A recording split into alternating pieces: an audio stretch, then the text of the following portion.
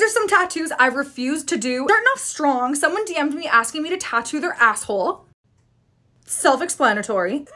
like, I'm sorry, but I'm not your girl for that. Next, I had a 16-year-old email me. So first off, I'm like 16. Uh, in their email, they said they had parental consent, but here's the idea they had. Gangster Monopoly Man. They wanted the Monopoly Man with money falling down all around him. He wanted an AK-47 in one hand and brass knuckles in the other hand. This is a 16-year-old child. I was like, you're gonna regret that one day, so like, call me when you're 18 with maybe another tattoo sign. And funny story, that person actually came back when they were 18 to get like a sentimental tattoo and was like, thank you so much for not doing that to me. And I'm like, yeah, you're welcome. I feel like this goes without saying. I won't tattoo anything like gang related, anything racist, homophobic, like anything like that. That's a no-no for me. As for a chest piece, no money, no hoes. My books were closed at the time, but that was also something I like wasn't looking to put in my portfolio. I referred them to an artist that does killer script, but I've never seen that design on their account, so I don't know if that actually happened.